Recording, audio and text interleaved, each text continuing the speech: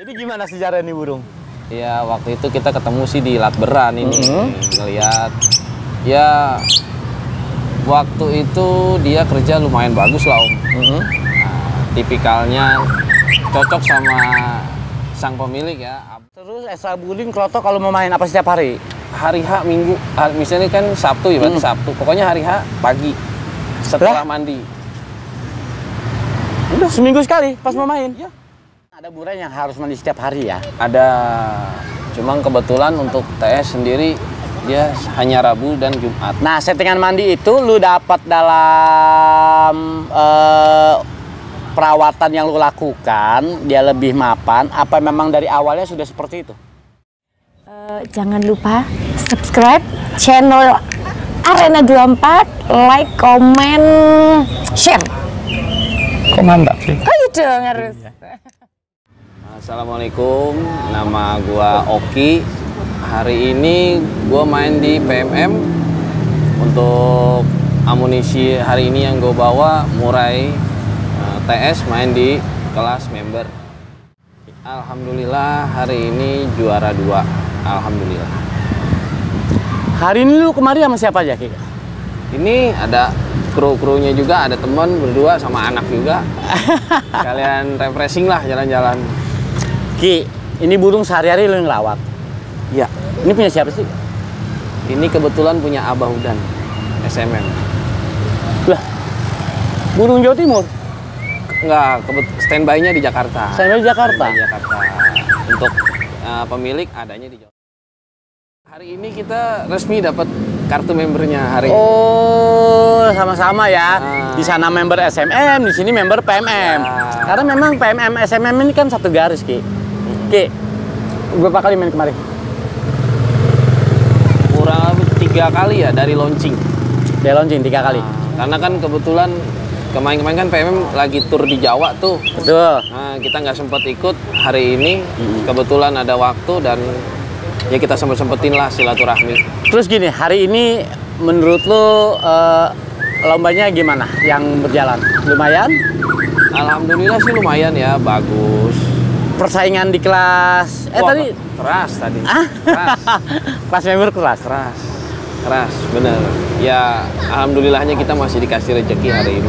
Kalau penjurian sih biasa-biasa ya masuk masuk masuk gue ya bagus-bagus aja lah ya. Ya relatif lah. Relatif kan. Relatif lah. Tapi kalau persaingan burung berarti kan lu paham nih kan. Iya. Burung lu seperti apa, lawan seperti apa. Ini keras. Hari ini tadi yang juara satu saya lupa ya, juara satu nomor 21 kalau nggak salah. Mhm. Itu saya sih ya kalau kalah sama dia ya saya maklumin lah. Burungnya hebat tadi yang juara satu. Berarti lu juara dua, dia juara satu. Iya. Itu persaingannya rame lah ya. Iya. Rame ya. Sa- ya ya pukul-pukul sama-sama pukul lah ibaratnya. Rame ya? Nah, Lu eh, sudah menyadari, oke lah gua kalah sama itu karena memang eh, dia eh, mungkin durasinya lebih atau gimana. Kalau gua yakin sih kalau masalah materi biasanya burung-burung di level itu biasanya mirip-mirip lah. uh, ya kalau dari pukulan ju- 21 lebih panjang. Dia Volume lebih, pa- Oh, lebih dia- bagus. dia? Iya. Oke. Saya akuin itu. Ada berapa tingkat di atas burung lu? Oh jauh ya, kayaknya itu Ah, lu terlalu merendah lo, Ki. Burung, serius. burung lu aja nggak oke. Eh, Ki, ngomong-ngomong burungnya yang mana nih? ini burungnya om. Nama burungnya? Nama burung TS Top Speed. Top speed ya? Iya. TS itu top speed, Iya. top speed ya. Udah berapa lama lu pegang, Ki? Kurang lebih sih ya bulan puasa lah Ramadan. Belum lama juga ya. Iya. Hmm. Terus gini Ki, ini kita ambil sedikit gambar burungnya ya sambil sambil gua tanya sejarah burungnya boleh ya? Ya. Mau bunyi mau nggak bunyi sih nggak apa-apa yang penting. Dibuka bu- apalagi kalau mau dibuka sih, kalau boleh dibuka sih nggak apa-apa. Gue demen banget. Mudah-mudahan dia bersuara juga. Kaki putih, burung bukan burung kecil, bodinya, tapi bukan burung yang besar banget, medium. Ekornya, wih langsung buka-buka. Ekornya gue suka ekor ekor kayak begini nih. Mentalnya batu banget nih. Panjang, agak lebar, buka, tapi bukan yang melengkung ya. Ya, lurus. Lurus ya. Duh, tahu aja dia. Sejarah Kamera dia. eh, sejarah tes ini, speed ini gimana? Lu tahu?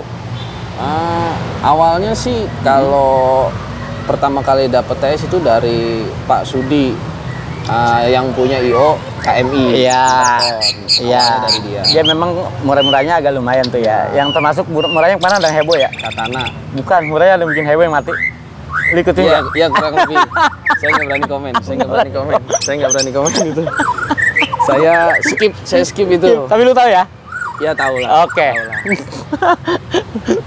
Wah, lulik mancing-mancing gua. Jadi gimana sejarah nih burung? Ya waktu itu kita ketemu sih di Latberan ini Mhm. ngelihat ya waktu itu dia kerja lumayan bagus lah om. Mm-hmm. Nah, tipikalnya cocok sama sang pemilik ya. Abah Udan senangnya kan yang ada show-nya. Aba Udan senangnya ada sionya ini mewakili. Iya. Jadi kita video, kita kirim ke uh, beliau dan beliau bilang, wah ini bagus kok, Uh, prospeknya juga masih panjang karena kan hitungannya tiga kali mabung om ini. Kalau lihat kakinya sih belum ada mendang-mendangnya, Iya. masih muda ya. Tiga kali mabung. Belum ya ba- baru dewasa lah ya, Ah. belum bisa dibilang burung tua tiga kali mabung katakanlah misalkan siklusnya satu kali mabung satu tahun ya tiga tahun. Ya kurang lebih. Kurang lebih kurang ya. lebih. Mm-mm.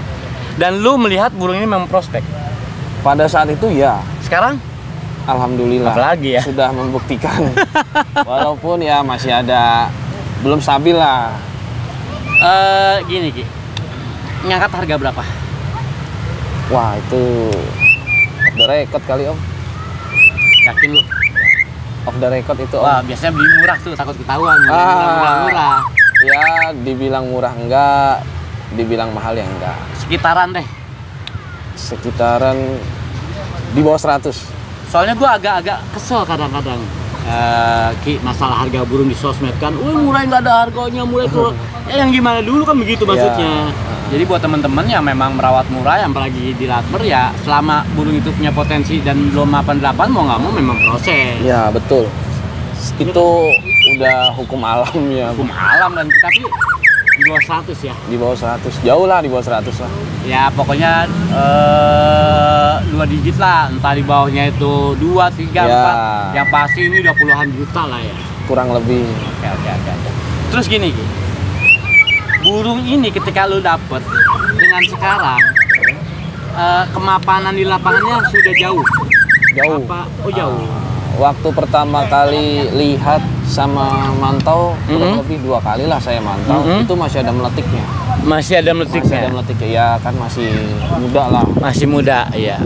Ya alhamdulillah sekarang walaupun masih ada tapi nggak sebanyak dulu. Nah justru yang ingin gue tanyain gini Ki, semoga informasi dari kita ini kita berbagi ilmu pengalaman lah ya. Entah lo mau bukan eh, buka-bukan 100 persen gitu nggak apa-apa, lo mau sembunyikan juga nggak apa-apa. Tapi gue ingin tanyakan gini Ki, untuk menghilangkan meletiknya sampai sekarang itu apa yang lo lakukan eh, untuk TS ini?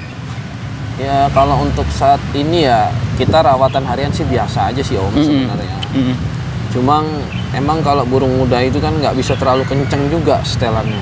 Wah ini gue demen. Iya jadi ya. Ini gue demen. Prosesnya standar standar ada aja. ya. Iya betul. Ya sama aja lah.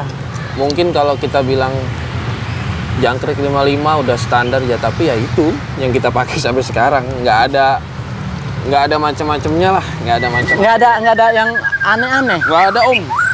Ber- kita standarnya kita pakai 55 ya paling tambah extra fooding proto Umum ya. umum ya kita kan cari main burung yang panjang om burungnya bisa dipakai di mana aja Gua demen, gua demen. Bisa aja sih lu genjot extra Bisa. bisa ya. bisa sangat sangat bisa tapi kita kan nggak tahu nanti ke depannya masih sama kayak gitu atau di bawahnya kerjanya atau di atas sih kita nggak tahu Takutnya Cuma kita gembos ya. carinya ya yang standar standar aja Takutnya gembos ya Ki. kurang lebih Ada Ki burung gembos ya. Terlalu dipaksa mungkin. Iya mungkin kita kan ya karakter burung kan beda-beda ya om.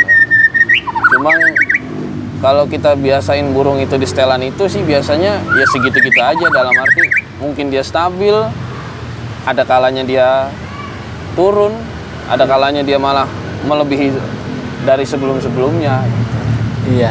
Berarti lu lebih ke biasa-biasa aja standar, lu lebih menunggu eh, waktu ya sambil dia dewasa ya. Mapan di umur ya. Iya benar.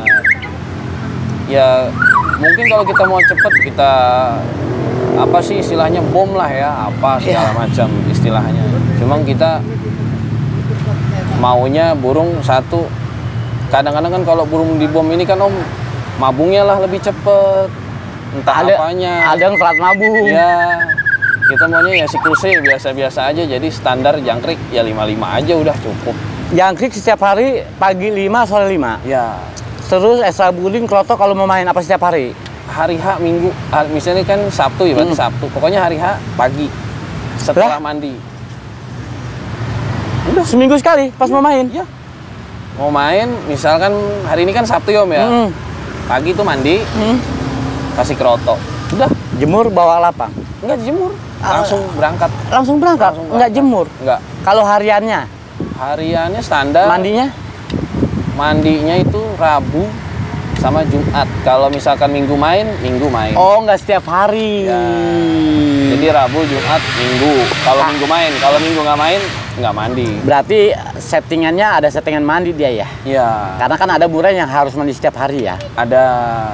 Cuma kebetulan untuk TS sendiri dia hanya Rabu dan Jumat. Nah settingan mandi itu lu dapat dalam eh, perawatan yang lu lakukan dia lebih mapan apa memang dari awalnya sudah seperti itu? Alhamdulillahnya kita dapat burung dari Pak Sudi. Mm. semuanya udah dikasih tahu jadi kita cuma oh, tinggal oh oh oh oh. Lanjut. jalanin aja. Jalanin ya. Ah, Alhamdulillahnya. Kadang kan suka ada yang ada trouble lah dikit-dikit. Nah, tapi alhamdulillahnya karena kita ya kenal lah akrab sama Pak Sudi dikasih tahu semua Diskusi jadinya. ya?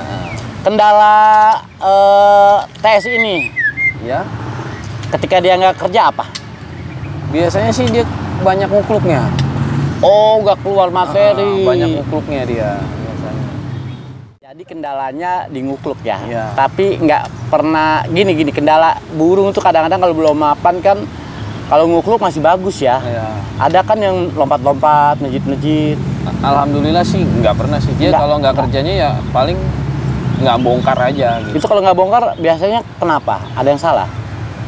entah dia nggak nyaman Oh, oh. entah dia misalkan kayak kita kadang kan jangkriknya kedeketan Oh. Kayak gitu-gitulah. Oh, ada setting jangkrik di lapangan.